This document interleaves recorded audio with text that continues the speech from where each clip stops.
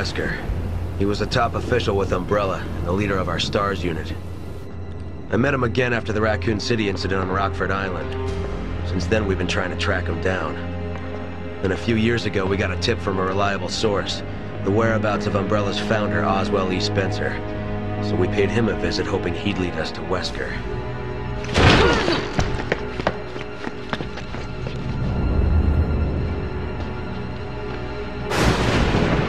Body